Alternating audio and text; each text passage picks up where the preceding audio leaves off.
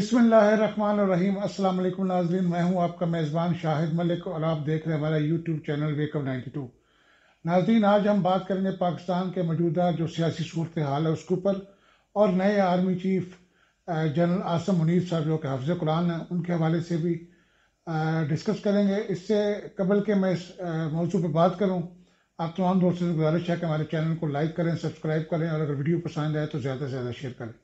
नाजीन सबसे पहले तो हम मरीम नवाज़ साहबा की वतन वापसी से शुरू करते हैं कि आज, माशाल्लाह, वो वापस पाकिस्तान पहुँच गई हैं और जो पाकिस्तान की सियासत है, इसमें एक हलचल सी मच गई है, गर्मा गर्मी पैदा हो गई है।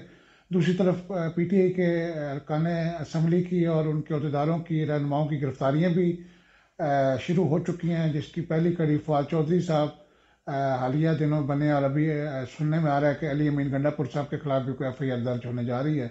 और इसी तरीके से एक लंबी फहरिस्त है जो गिरफ्तारियों के लिए तैयार की गई है और खबरें ये भी आ रही हैं कि इमरान खान साहब को कत्ल करने की भी कुछ साजिश हुई है।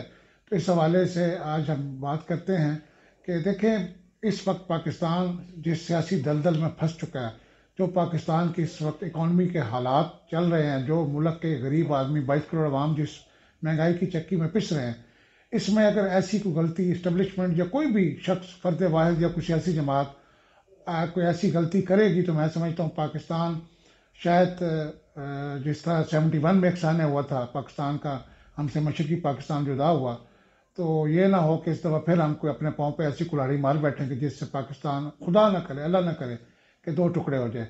और दुश्मन आलमी ताकतें यही चाहती हैं कि पाकिस्तान को टुकड़ों में तकसीम कर दिया जाए। तो यहाँ पे हमारी इस्टबलिशमेंट को, हमारी फ़ौजी क्यादत को, हमारी अदलिया को, हमारी ब्यूरोसी को, हमारे सियासतदानों को सबको होश के नाखन लेने होंगे और बड़ी समझदारी के साथ मामला को सेटल डाउन करना होगा, क्योंकि इलेक्शन तो अब अनाउंस हो चुके हैं। दो सूबाई असम्बली टूट चुकी हैं, वैसे भी इलेक्शन इसका ये साल है। तो मेरे ख्याल में तमाम बड़ों को सर जोड़ के बैठना चाहिए और इसका कोई मुस्बत हल निकाल के, ताकि मुल्क में एक अमन की फ़िज़ा कायम हो जाए और ये जो सियासी गहमा गहमी और ये जो लड़ाओ, झगड़ाओ और जलाओ की सियासत हो रही है, ये पाकिस्तान के लिए कोई अच्छी नहीं है। और देखें कि अभी ये जो कल डॉलर की प्राइस एकदम से जंप कर गई है, इससे पाकिस्तान का जो हजम है कर्ज़ों का, वो बहुत अरबों में, खरबों में बढ़ गया तो दो, मैं समझता हूँ इस हुकूमत रिजीम चेंज के बाद दो शख्सियात ने अपना इमेज जो है बड़ी पूरी तरीके से डैमेज किया है।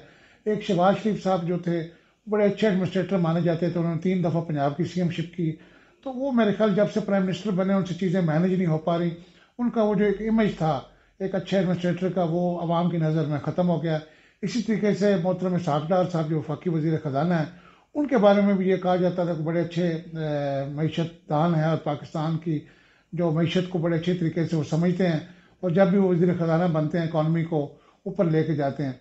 लेकिन इस बार साकडार साहब भी बुरी तरीके से नाकाम हुए और वो डॉलर को प्राइस को कंट्रोल करने में और इकॉनमी को कंट्रोल करने में बुरी तरह नाकाम हुए मैं समझता हूँ मुफ्ता इसमाइल साहब उनसे बेहतर चला रहे थे शायद। तो ये मुस्लिम लीग नून को भी देखना चाहिए कि जो जो वो जितना लंबा करेंगे इलेक्शन की अनाउंसमेंट को, उतने उनके जो वोट बैंक का उनका काम होगा। इसलिए बेहतर है कि ये वक्त है कि इलेक्शन को अनाउंस करके केयर टेकर सेटअप वफाक में भी और बाकी सूबों में कायम करके एक साफ़ शफाफ इलेक्शन की तरफ़ बढ़ना चाहिए।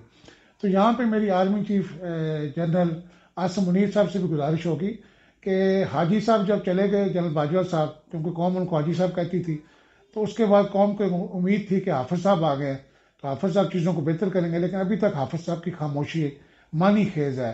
चीज़ें दिन ब दिन बदतर से बदतर होती जा रही हैं, मुल्क के हालात, खाना जंगल की तरफ़ बढ़ रहे हैं, लेकिन फ़ौज का इस वक्त जहाँ जो किसी किरदार अदा करना चाहिए, वो अभी तक कर नहीं पा रही। और मैं पहले कई दफ़ा ये बात कर चुका हूँ कि फ़ौज हमारी मुहाफ़ है, जनरल साहब मुहाफ़ पाकिस्तान है। तो जब भी कोई मुहाफ़ इसकी मिसाल में मैं इस तरह देता हूँ कि अगर एक घर वालों ने एक घर के बाहर अपना सिक्योरिटी गार्ड हिफाजत के लिए रखा हुआ है, जो कि गेट के बाहर ड्यूटी करता है और घर की हिफाजत करता है बैरूनी डाकुओं से, चोरों से, दहशत गर्दों से।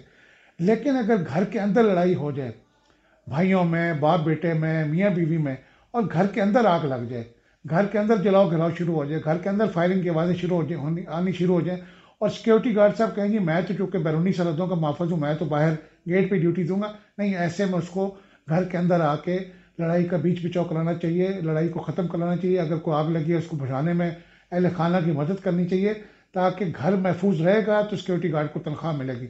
वरना सिक्योरिटी गार्ड अगर घर जल गया तो सिक्योरिटी गार्ड भी नौकरी से फारग हो जाएगा। इसलिए फ़ौज को भी चाहिए कि ठीक है, हमारी जो बैरूनी सरहदें हैं अफ़गानिस्तान के साथ, भारत के साथ, चाइना के साथ, ईरान के साथ यहाँ पे भी अफवाज पाकिस्तान की ज़रूरत है सरहदों की निगरानी के लिए हिफाजत के लिए। लेकिन मुल्क के अंदर इस वक्त जो हालात हो गए उसमें अगर इस वक्त फ़ौज इंटरवीन नहीं करेगी तो ये मैं समझता हूँ बहुत बड़ी ज़्यादा होगी मुल्क के साथ कौम के साथ। और मैं इस चीज़ का हामी हूँ कि फ़ौज को पाकिस्तान के अंदरूनी मामला में मदाखलत करनी चाहिए। हमेशा से पचहत्तर साल से पाकिस्तानी फ़ौज पाकिस्तान की सियासत में अंदरूनी राज में मुदाखलत करती रही अब भी उसको करना चाहिए। और लोगों को एक, एक ऐसी सियासतदानों की एक गोल मेज कॉन्फ्रेंस आर्मी चीफ साहब को चाहिए कि वो बुलाएँ, और उसमें चीफ जस्टिस साहब भी बैठे आर्मी चीफ साहब भी बैठे और उसमें तमाम सियासतदान बैठ के और एक कोई मुतफ़ा इसका लाए अमल बनाए इलेक्शन के हवाले से, और ताकि आने वाली हुकूमत जो है वो स्टेबल हो सके और मुल्क को इकानमी को स्टेबल कर सके। तो यहाँ पर मेरी गुजारिश होगी तमाम लॉ एंड आर्डर जो इन्फोर्समेंट एजेंसीज हैं, इदारे हैं, फौज पाकिस्तान आर्म फोर्सेज जो हैं, सियासतदान, अदलिया सबसे ब्यूरोसी से भी, और हमारे वकला से भी, आवाम से भी, कि सब जो है इस मामले पे गौर फ़िक्र करें। ये जो हम आए रोज़ एक दूसरे के ख़िलाफ़ बयानबाजियाँ, एक दूसरे के ख़िलाफ़ धमकियाँ, एक दूसरे को यानी अजीब अजीब हम अलकबाज से नवाज़ रहे हैं ये कोई अच्छी खुशाइन बात नहीं है। तो यहाँ मैं आर्मी चीफ साहब से सिर्फ़ एक बात पूछना चाहूँगा। एक आम पाकिस्तानी होने के से एक सवाल है मेरा कि आर्मी चीफ साहब, हमने सुना आप हाफज कुरान हैं। तो अभी तक जो है, क्योंकि आपके सीने में कुरान और जिसके सीने में कुरान हो, वो अमर बिल मारूफ और नईल मुनकर को अच्छी तरह समझता है। कि किस तरीके से अच्छाई को प्रमोट करना है, किस तरीके से बुराई को रोकना है। अभी तक ना ही कोई अच्छाई नज़र आ रही है और ना ही कोई बुराई को रोक रहा है। तो मैं, हमारे माशरे में जन साहब हाफज जो है, दो किस्म के लोगों को कहा जाता है हमारे माशरे में। हम बुज़ुर्गों से सुनते हैं कि हमारे माशरे में एक तो हाफज कुरान, हाफज साहब उसको कहा जाता है जिसके सीने में कुरान हो, हाफज कुरान हो। और दूसरा हमारे माशरे में हाफज ऐसे लोगों को कहते हैं जो नाबीना होते हैं, अंधे होते हैं उनको भी लोग सफ़ेद छड़ी पकड़ के जब सड़क पर जा रहे होते हैं, लोग हाफज साहब उनको पुकारते हैं। तो ये मैं पूछना चाहता हूँ आर्मी चीफ साहब से, जनरल साहब, कि आप कौन से वाले हाफज हैं? क्या आप हाफज कुरान हैं या आप वो नबीना हाफज की तरह? अभी तक तो आपको कोई हालात नज़र नहीं आ रहे पाकिस्तान के अंदर, कि इस वक्त पाकिस्तान के जो एक आम आदमी फिक्रमंद है, एक आम आवाम जो है, गरीब आदमी फिक्रमंद है अपनी दो वक्त की रोटी के लिए तो क्या आपको ये सब कुछ नज़र नहीं आ रहा? आप कब किरदार अदा करेंगे? कब आप आगे आएँगे? अगर हाजी साहब फ्रंट फुट पे आके खेलते रहे तो हाफिज साहब, आपको भी आके फ्रंट फुट पे खेलना होगा। क्योंकि फौज अब छुपी ढुकी, ढकी नहीं रही कि वो कहे, जी, मेरा सियासी ताल्लुक नहीं है। अभी तक फौज के सियासी ताल्लुक है, और अभी तक ऐसे लग रहा है कि हाजी साहब की पॉलिसीज़ ही आगे बढ़ रही हैं। तो ऐसे में मेरी आपसे जनरल साहब गुजारिश है कि आप नबीना वाले हाफिज ना बने, बल्कि हाफज कुरान वाले हाफिज बन के नेकी का हुक्म दें, बुराई को रोकें, अच्छे अमाल करें। पाकिस्तान को ये एक इस्लामी इस्लाम का एक मज़बूत किला है, एक एटमी ताकत है, इस्लामी एटमी ताकत है। इसका जो अगर ये टूट फूट का शिकार होगी या मुल्क पाकिस्तान अगर गैर मुस्तकम होगा, कमज़ोर होगा तो आलम इस्लाम कमज़ोर होगा। तो मैं समझता हूँ कि आपको इस वक्त चाहिए कि आप फौरी तौर पर तमाम सियासतदान, जो सियासी पार्टीज़ हैं, सियासी लीडरशिप है, हमारी पोलिटिकल लीडरशिप, इसको दावत दें। आर्मी हाउस में बुलाएँ जी एच क्यू में बुलाएँ, या किसी भी पार्लियामेंट के अंदर बुला के उसमें खुद भी बैठें, चीफ जस्टिस साहब को बिठाएँ तमाम सियासी पार्टियों को बिठा के मरियम साहबा भी वापस आ गई मुस्लिम लीग नून को वो लीड करेंगी। इमरान खान साहब हैं, आसफ जरदारी साहब हैं, फजल रहमान साहब हैं, सराजुल हक साहब हैं, एम के एम वाले हैं।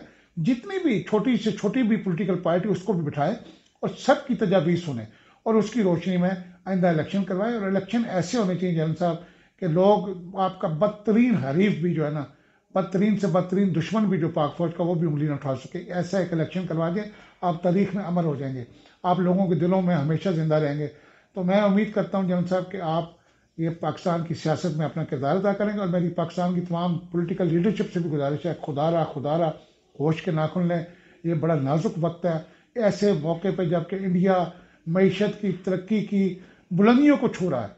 साढ़े पाँच सौ अरब डॉलर के उनके ज़खायर है। और हमारे जो है वो छः अरब डॉलर भर के। इस तरीके से बांग्लादेश हमसे आगे जा रहा है। जितने भी सार कंट्रीज़ हैं, सबसे इस वक्त जो पसमानदा जिसकी या सबसे बुरी मीशत जो है, वो इस वक्त पाकिस्तान की है। तो पाकिस्तान कम अज़ कम हमसायों से सीख लें, भारत से सीख लें, दुश्मन से सीख लें। इस वक्त दुश्मन चाहे तो आपको एक लुकमे में चबा सकता है। एक लुकमे में बना के खा सकता है, वो जितना मीशत में आगे निकल गया, जितना वो दिफाई, उसके अखराज और जिस तरीके से वो दिफाई उसने अपने आप को भारत ने मज़बूत किया, वो किसी वक्त भी पाकिस्तान को हड़प कर सकता है। अल्लाह ना करे। तो ऐसे में हमें भी अपने होश के नाखुन लेने होंगे। हमें गुड गवर्नेंस की तरफ़ जाना होगा। हमें ट्रांसपेरेंसी की तरफ़ जाना होगा। हमें करप्शन की रोकथाम करनी होगी। हमें ट्रांसपेरेंट इलेक्शन करने होंगे मुल्क में। इनका करना होगा उसका। और हमें सादगी इख्तियार करना होगी। हमें एक जमहूरीत की तरफ़, एक असल जमहूरीत की तरफ़ जाना होगा जिसमें अमरीत का अमल दखल ना हो। उम्मीद है नाजीन आपको हमारा ये प्रोग्राम पसंद आया होगा। अपने मेज़बान शाहिद मलिक को इजाज़त दे। अल्लाह हाफिज़।